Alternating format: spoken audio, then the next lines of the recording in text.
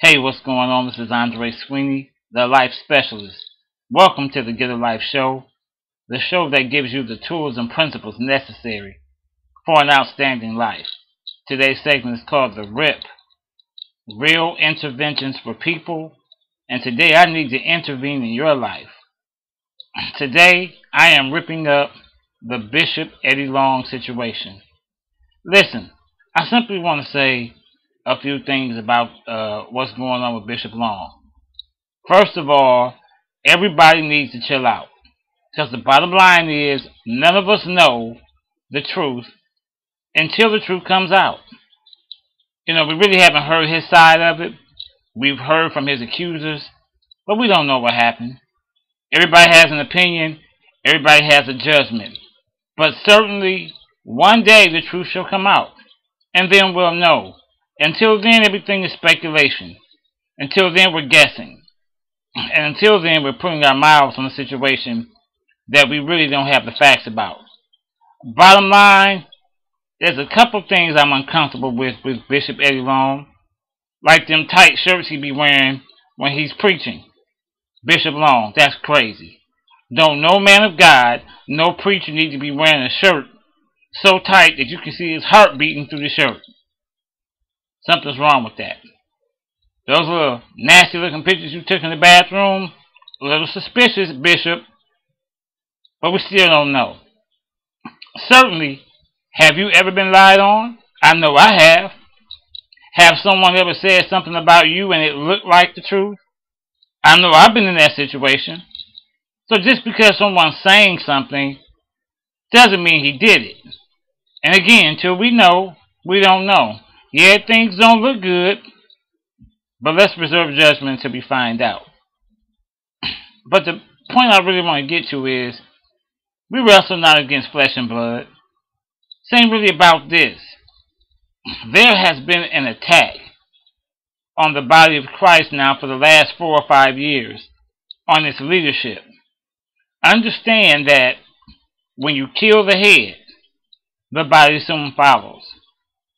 The enemy is attacking our spiritual leadership because he knows if he can affect that, then he can deal a severe blow to the rest of the body.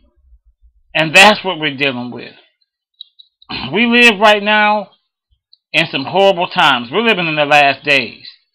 And the world is dying at a record number. The world needs the church. But the church is on life support.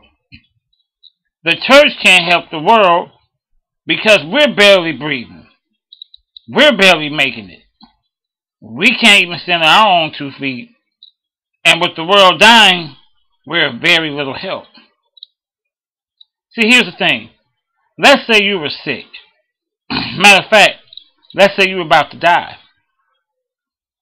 But someone told you that the hospital that you were going to the hospital was messed up. All the doctors were crooks. They were barely trained. The house wasn't the, the hospital was infected with all kinds of diseases. Even though you were already sick, would you go to that hospital? Of course not. You better take your chances and make it on your own. As opposed to go there where you're supposed to get healed and get killed anyway. Well, that's how a lot of people in the world feel about the church. They're sick, they're dying, but they ain't coming in our buildings to get sicker. They're not coming in our buildings to get shot at. They're not coming in our buildings to be told something and to be told a standard to live upon and they don't see us do it. That's what we're dealing with. The sick people are saying to the church, You're just as sick as we are. And therefore they're rebelling. The church is a, a joke right now to many people. And it's going to take real men of God, real women of God, to bring back the honor of the church and the honor of the preacher. Not just the world, but our own people are suffering because they don't trust their leaders. We must do something about this. Here's the bottom line our faith is being attacked.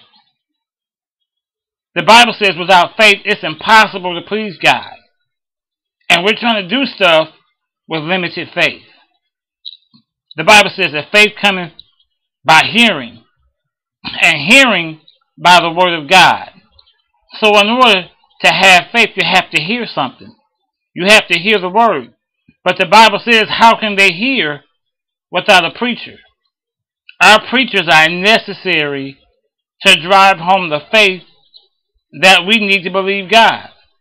But the enemy is attacking that very mouthpiece that that transfers that faith to our to our ears.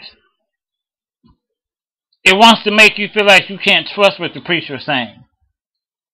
And if you can't believe him, you connect God with that same thing. Understand something, people. Every every preacher's not gay. Every preacher's not cheating on his wife. Every preacher's not stealing the money. Every preacher's not corrupt and money hungry. There are men of God out there who absolutely live what they preach. And they absolutely do what they say. Ultimately, though, if the whole world goes to hell, if every preacher goes to hell tomorrow, you don't have to go. If every preacher is a homosexual, you don't have to be one. If every preacher is robbing the church, you don't have to rob it. The Bible says to work out your own soul salvation. Ultimately, you're going to stand before God by yourself. Not with your pastor, not with the bishop, not with your favorite local evangelist that comes in to prophesy to you once a year. You're going to stand before God for yourself. So don't get tripped up by Eddie Long, Benny Hinn, Juanita them or anybody. Understand that Jesus is our ultimate example. He says, Let this mind be in you that was also in Christ Jesus. Not your favorite preacher. This is Andre Sweeney, the life specialist. And I'm here to help all of my viewers to get a life.